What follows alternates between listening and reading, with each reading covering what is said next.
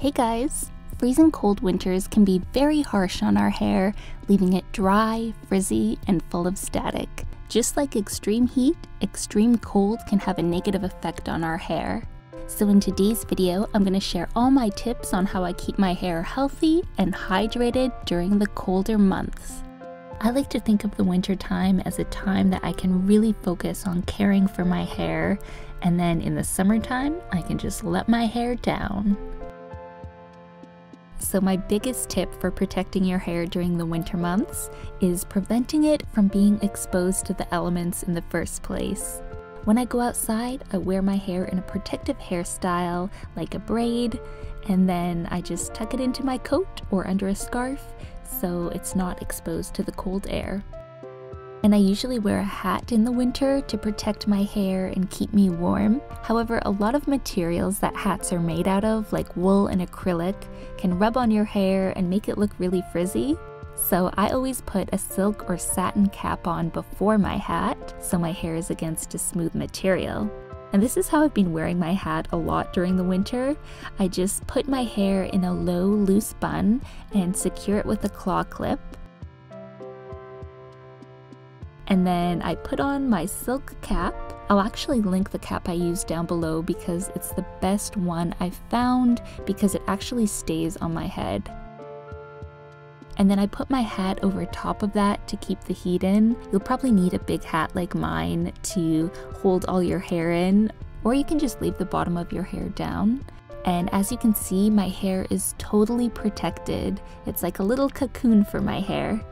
So that's just something I've been doing to protect my hair this winter, and I think it looks kind of cute, and my hair feels really nice when I take it out. So yeah, I sleep on a silk pillow at night and use the silk cap under my hats, and my hair loves it. In the winter, it feels so great to take a steamy hot shower. However, hot water temperatures can suck the moisture out of your hair and make it more vulnerable to breakage. For me, this is the most difficult tip because I love taking hot showers, especially on a cold winter's day. So when I'm taking a shower in the winter time, I usually start off with it a bit hot just to kind of warm up, but then when I go to wash and condition my hair, I just turn the water down to warm. And if you dare, you can do a cool rinse after, and that actually just makes your hair look more shiny. And while we're on this subject of hair washing, I like to try and extend my hair washings in the winter. Your hair's natural oils help condition your hair, so you don't want to just strip that away by shampooing it all the time.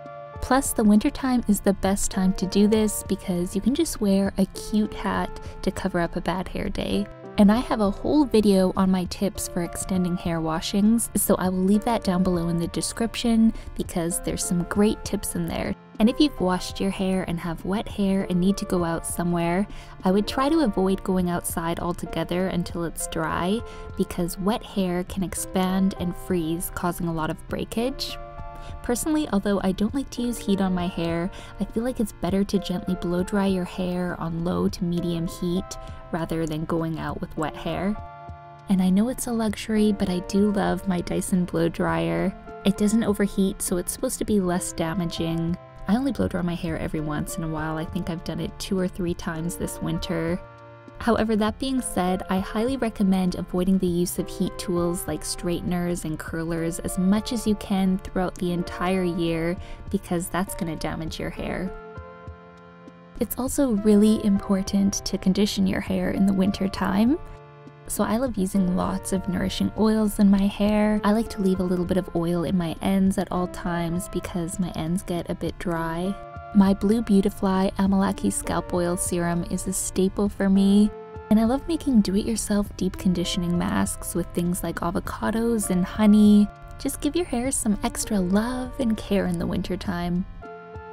And during the colder months, we more than likely have the heat cranked up as well, so if your hair and skin are feeling the drying effects of indoor heating, it might be worth it to invest in a humidifier. A humidifier will add moisture to the air, which will help prevent dry hair and skin. I absolutely love my humidifier. I love this one in particular because you can put essential oils in it as well. And I also have this humidity tester so I can gauge how much humidity I need in the air.